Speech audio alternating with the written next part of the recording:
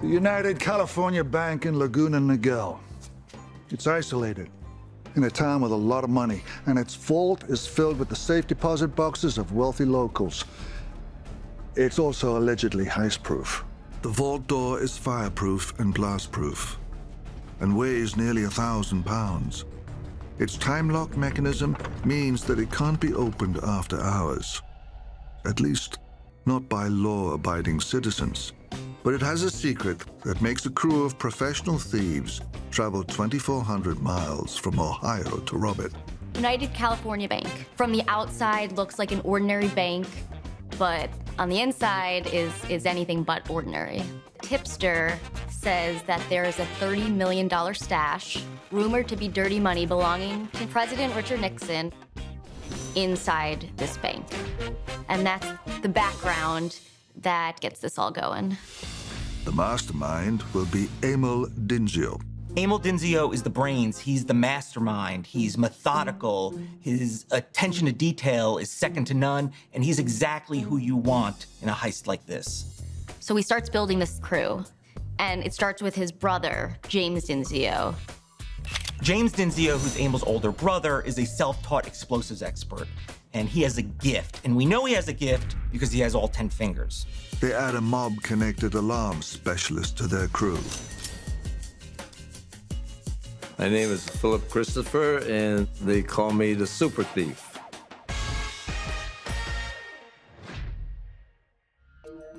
The next member the Dinzios add to the team is Chuck Mulligan. He'll acquire the specialized gear to get the job done without leaving a trail. Busting into safe deposit boxes takes serious muscle. So the Cleveland mob also adds Charles Brockle to the team. He's not just an associate, he's also Phil Christopher's cousin. Once they arrive in Laguna Niguel, they're joined by the last member of the crew, getaway driver and radio man, Harry Barber. So Harry Barber is a nephew. Again, it's mostly a family affair. These are people he's worked with, these are people he trusts. At 10 p.m. on Friday, the heist team heads out. Charlie Mulligan takes his position on top of the hill as we walk down the embankment. For the duration of this mission, he's the lookout.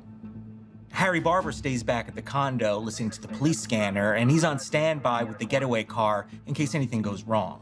Friday, March 24th, 1972, 11 p.m. The Dinzio crew is ready to put their plan, their gear, and their nerves to the test. The heist starts now. Their first order of business, to cut a hole in the roof to get to the vault below. So once they have the hole cut, Emil and Phil enter the building to look for the vault's silent alarm. it looks like a closed loop circuit alarm. A closed-loop circuit alarm can be bypassed by creating a loop that keeps the circuit from breaking. And the alarm system thinks that it's still guarding the vault. The next step involves back-breaking work. Before they can bring bags of loot down from the roof, they need to bring bags of sand up to it. These sandbags not only serve as a way to muffle the sound, but also to direct the energy downward as they explode into the vault. The team is ready to blast down through steel-reinforced concrete. It's the part of the plan that separates the pros from the amateurs. And if they're not careful, limbs from torsos. So this is the moment of truth. They have these giant sandbags. They placed the explosives in the holes. James looks at Emil, who nods. James flips the switch. Boom. The Dinzio's explosive charges breach the vault roof of the United California Bank in Laguna Niguel, and they're in. And they see these 500 pristine security boxes. There was a special tool that was used on this job, and that tool was a snout-nosed hammer in which the end of the hammer was milled to the circumference of the lock boxes. So you place that hammer up against the lock, you take a sledge, and you pound the lock through, and then you're in. There's so much money in this place. You know, our hearts are pounding. We're sweating there. With less than five hours to go before sunrise, the Dinzio crew retreats through the diminishing darkness to the safety of the Condor. The team spends all day Sunday debating whether to take the loot already in hand or risk one more night in the vault for more. The guys are on edge. But they listen to the police scanner the whole next day. Nothing. Laguna Niguel is blissfully unaware that their bank is being robbed. They have a great crew and they have a great opportunity, so they make their way back. They just spend the whole night going through those boxes and getting that loot. They found a treasure trove. It's euphoric and sweaty. They gather up as much loot as they can and they get out of there. The heist team has miraculously pulled off the biggest haul of their careers. With sunrise minutes away, it's time to make those millions disappear. According to Emil Dinzio, they got the Nixon millions and more. When I pressed Emil for details, he smiled. It proved out to be a great job. It was $30 million. You know, you can ask for more than that when you're a burglar. And by the time the bank opens on Monday morning, the crew is not even in Southern California. The Cleveland guys are flying home, and Emil, James, and Chuck are heading to Vegas to fence the loot.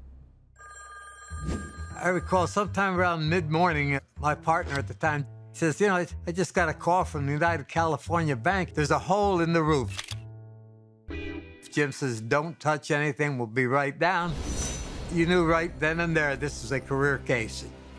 J. Edgar Hoover is the boss of the FBI during this time period. Mr. Hoover was a very motivated guy, and therefore he motivated us. Then J. Edgar Hoover gets involved, and the number of agents jumps from 8 to 125 in the first few weeks. 2,000 miles away, the crew is confident they made a clean getaway. So when Emil Dinzio gets a new tip, it's too tempting to pass up. They decide to do another heist. This one is in Lordstown, Ohio, at a bank across the street from a GM factory. I talked to Dinzio about this, and I was like, why would you do this at this point? You just got all this money. They decided a haul like this doesn't come around often. Let's do it again.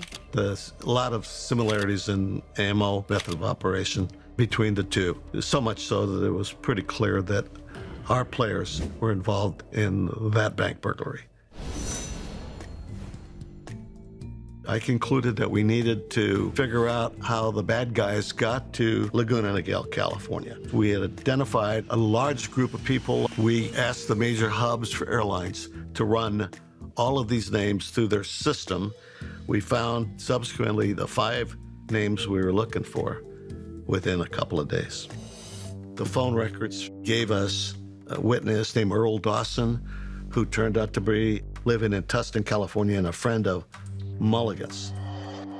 I got the call late in the afternoon to check out Earl Randall Dawson. But the thing that really hit me is his place of birth was Youngstown, Ohio, and you don't have to be an FBI agent to say that's a clue.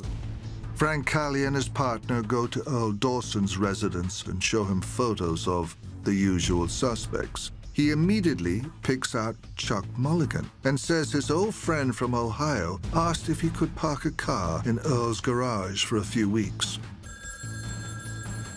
While I'm talking to him, the phone rings. He picks it up. He looks at me. He, Just a second, I'll be right with you. He says, "It's Mulligan." I said, "Do you mind if we listen in on the conversation?" Mulligan says, "Hey, Earl, how you been? I got to get rid of the car in the garage." He says, "Has the FBI or anybody been around?" And he said, "No, nobody's been around down here." He said, "Are you sure?" I said, "No, nobody's come around." I said, "This guy we can trust." Could the car in the garage Mulligan is coming to get rid of be the vehicle used in the heist? Cali tells the FBI bosses that a suspect is coming to him, and he quickly gets a warrant to search the vehicle. They pop open the trunk and they find ski masks, they find guns, and they find the tools that were used in the Laguna Niguel heist. It was clear that everything in the car, everything in the trunk had been wiped down significantly, with the exception of a fingerprint behind the mirror when somebody apparently was adjusting the mirror. Mulligan shows up. I walked up to Mulligan. He said, Yes, the FBI. He said, What? I said, You're under arrest. A true professional, Mulligan doesn't rat out his crew. Even when FBI agents locate the condo Harry Barber rented, the heist team isn't worried. They're confident they've made quite literally a clean getaway. That place was wiped from ceiling to floor of anything that could possibly be evidence, anything, with the exception of the dishwasher. Five people were identified from their fingerprints on dirty dishes in that someone forgot to push the start button. Fingerprints will get you every time. FBI agents in Ohio arrest Emil Dinzio and in a search of his house find rare coins belonging to one of the United California bank customers. Agents also find cash they can trace to the Lordstown bank job. From there, they focused on the so-called super thief, Phil Christopher. The FBI came to my home and uh, they came there to arrest me for uh, probation violation. And sure enough, because I didn't have the phony ID that day when I went on the airplane, they would have never got me. Never would have got me.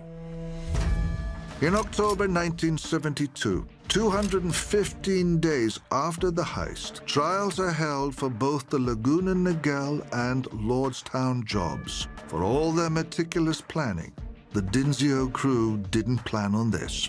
Emil Dinzio, Charles Mulligan, and Phil Christopher are convicted and sentenced to 20 years in prison. James is convicted and gets sentenced to 15 years. Harry Barber is a fugitive for eight years before he's caught. Whatever happened to what Emil Dinzio insisted were Nixon's millions? After a heist of 20 million, even 30 million or more, only a small fraction was ever recovered. The feds, they recovered somewhere between 2 and 4 million. There's a lot more money out there. According to the burglars, it's something between 12 and 30 million. Where's the rest of the money?